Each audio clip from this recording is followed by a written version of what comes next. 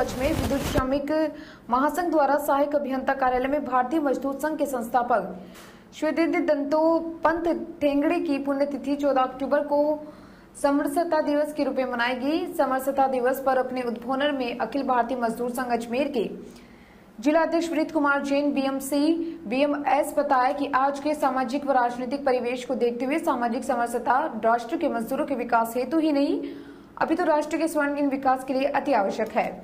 हमारे देश में जाति एक सर्वमान्य सच्चाई है, मगर हमें उससे ऊपर उठकर मानवता को सर्वप्रिय रखते हुए श्रद्धेय दंतोपंत के दिखाए रास्ते पर आगे बढ़कर समाज को सामाजिकता, एकता व समरसता के महत्व को समझाना होगा। सामाजिक समरसता के साथ सभी वर्गों का आर्थिक, शैक्षणिक व सामाजिक विकास ही किसी भी राष्ट्र की स्वर्णिम उन्नति का वास्तविक पैमाना है। हमें आज समरसता दिवस के अवसर पर प्रेरणा लेनी चाहिए कि हम हमारे कार्यक्षेत्र निवास स्थान समाज, धर्म व संप्रदाय में सामाजिक समरसता के विकास के लिए तत्पर होकर कार्य करेंगे और देश में सामाजिक सौहार्द को स्थापित करेंगे। इस अवसर पर श्रेदीय दंतोपंत ठेंगड़ी के चित्र पर पुष्पांजलि कार्यक्रम भी रखा गया। आज के कार्यक्रम में भारतीय मजदूर संघ जिला अजमेर के द्वारा एवं अजमेर विद्युत वितरण निगम, श्रमिक संघ इकाई मदार के द्वारा सहायक अभियंता कार्यालय मदार के पास स्थित जेपी नगर आवासीय कॉलोनी के गरीब परिवारों में दूध की थैली का वितरण किया गया। इस अवसर पर भारतीय मजदूर संघ के संस्थापक दंतोपत ठेंगड़ी के चित्र पर माल्यार्पण भी किया गया एवं उद्योग के साथ दंतोपत ठेंगड़ी की अमर रही अमर रही भारतीय मजदूर संघ जिंदाबाद जिंदाबाद के नारे लगाकर सामाजिक समरसता के बारे में सभी को बताया। आज के कार्यक्रम में विनीत कुमार जैन जिला अध्यक्ष भारतीय मजदूर संघ अवतार शर्मा नंदलाल बेरवा, आशीष शर्मा, सुरेंद्र खोजा शंकर लाल जाट, गजेंद्र सिंह, गौरव मिश्रा विठल मनीष आडवाणी, ज्योति कुमावत, सुषमा श्रीवास्तव, पुष्पा राठी, हनुमान आदि कार्यकर्ता शामिल हुए। है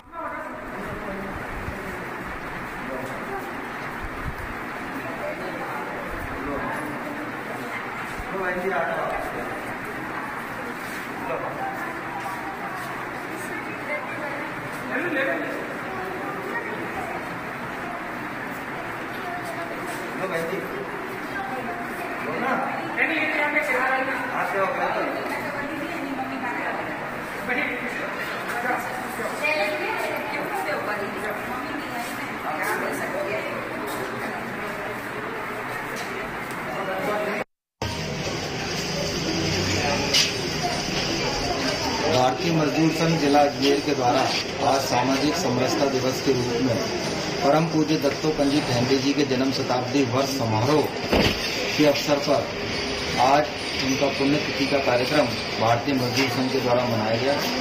पूरे देश के अंदर आज भारतीय मजदूर संघ ने आदरणीय दत्तोपंजी ठहंडे जी के पुण्य स्मृति दिवस को सामाजिक समरसता दिवस के रूप में इस कार्यक्रम को मनाया जाता है। कार्यक्रम की इस कड़ी में भारतीय मजदूर संघ जिला अजमेर एवं अजमेर विद्युत वितरण निगम श्रमिक संघ शाखा मदार के द्वारा जेपी नगर स्थित कच्ची बस्ती में हमने यहाँ महिलाओं को और छोटे बच्चों को दूध का वितरण किया गया। साथ ही कार्यालय के अंदर हमने यहाँ मास्क का वितरण किया और ये पूरा कार्यक्रम भारतीय मजदूर संघ ने पूरे ज़िले के अंदर बड़ी धूमधाम के साथ मनाया।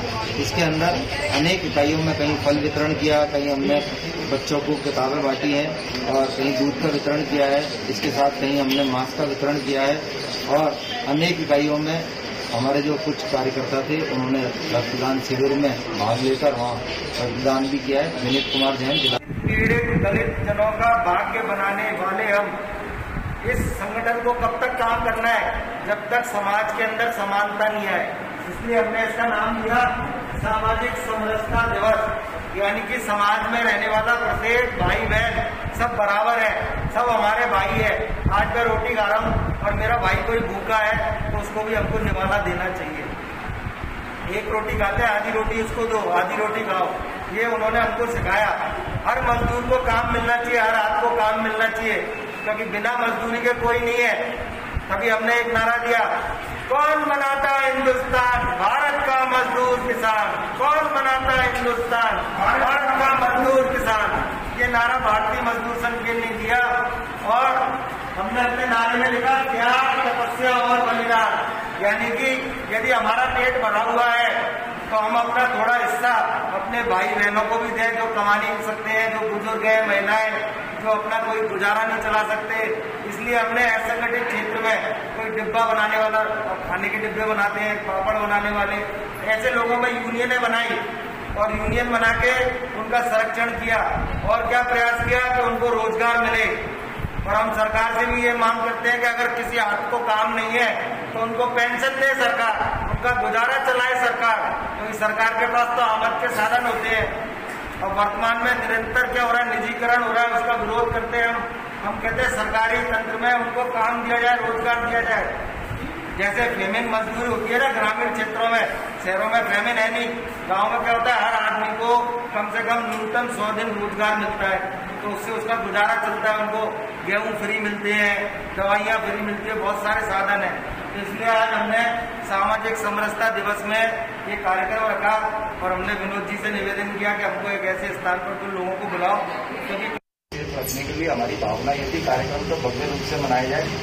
परंतु कोरोना काल है, इसलिए कर्मचारी क्योंकि ज़्यादा इकट्ठे होंगे तो संभावना है कि वे अस्वस्थ हो सकते हैं। इसलिए कार्यक्रम संक्षिप्त रूप में हमने अपनी अपनी यूनियन में रखा। जो जहाँ काम करता है, वहाँ अपने कार्यक्रम रखे।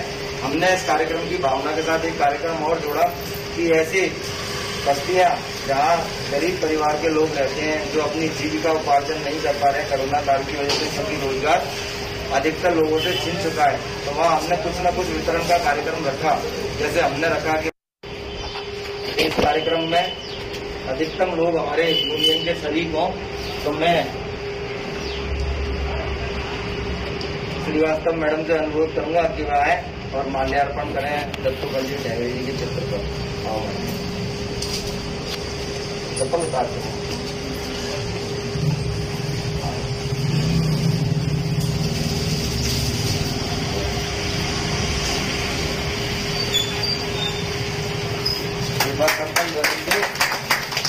भारत माता की।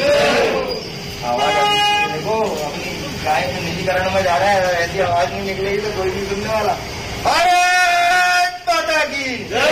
एक्शन आपको सुनाई देना चाहिए नीचे को जोड़ा भारत माता की।